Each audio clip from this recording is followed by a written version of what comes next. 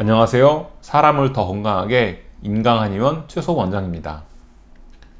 머리 떨림은 뇌순환이 원활하지 않기 때문에 이를 개선하기 위한 우리 몸의 반응이라고 말씀드린 바가 있습니다. 뇌순환은 혈관을 통한 뇌혈액순환과 척수를 통한 뇌척수액순환으로 이루어지는데 뇌로 향하는 혈관과 척수가 함께 지나가는 부위가 있습니다. 바로 목입니다.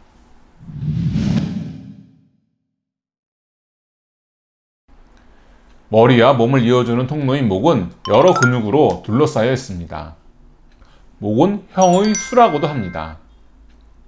우리 몸이 움직일 때 먼저 머리가 돌아가고 그 방향으로 몸이 따라가는데 실제로 머리를 움직이는 것이 목의 근육들입니다.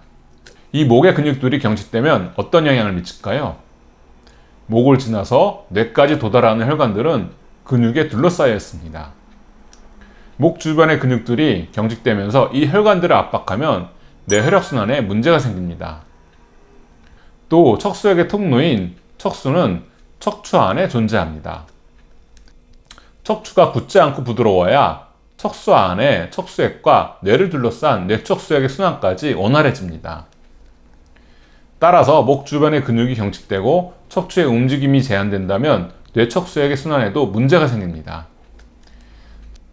즉, 목 주변의 근육이 긴장되거나 경직되지 않고 부드러워야 뇌순환도 잘 될 수 있습니다.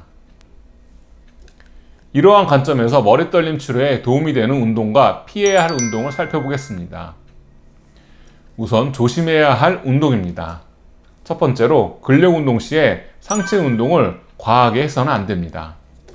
특히 승모근에 부담을 주는 잡아당기는 운동과 어깨와 목에 동시에 부담을 주는 프레스 계열의 운동을 무리하게 해서는 안 됩니다. 두 번째, 골프와 테니스 등 공을 강하게 치는 운동입니다.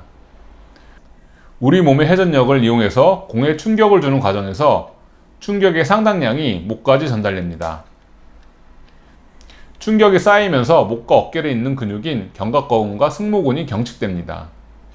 머리 떨림 환자분들을 치료하다 보면 잘 치료되다가 주말 지나고 나서 목이 굳는 경우가 종종 있는데 거의 대부분 주말에 무리한 운동이 원인이었습니다. 세 번째, 추운 날씨에 자전거 라이딩입니다. 우리가 견딜 수 있는 이상의 찬바람을 맞으면 냉기가 목을 타고 깊은 곳까지 들어가서 목 근육의 경직을 일으킵니다. 따뜻한 날씨에는 영향이 적으니 날이 충분히 풀릴 때까지 기다리는 것이 좋습니다. 그렇다면 도움이 되는 운동은 무엇일까요? 우리 몸의 긴장을 풀어주는 스트레칭과 요가를 들 수 있습니다. 목의 긴장을 풀기 위해서는 단순히 목 부위만 풀어줄 것이 아니라 척추 전체의 움직임을 부드럽게 하는 것이 도움이 됩니다. 전신의 순환이 원활해진 상태에서 목 부위를 풀어주는 요가 동작이나 스트레칭의 동작을 집중적으로 더 진행하는 것이 좋습니다.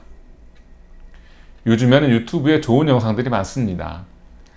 자신의 수준에 적합한 동작들부터 하나씩 시작해 보시길 권해드립니다. 일상적으로 늘 하던 것들이 사실은 병의 원인인 경우가 많습니다. 무리한 운동도 그러한 원인 중에 하나가 될 수 있습니다. 머리 떨림으로 고생하고 있다면 다소 아쉽더라도 운동을 바꿔보시기 바랍니다. 이상으로 이번 영상을 마치겠습니다. 감사합니다.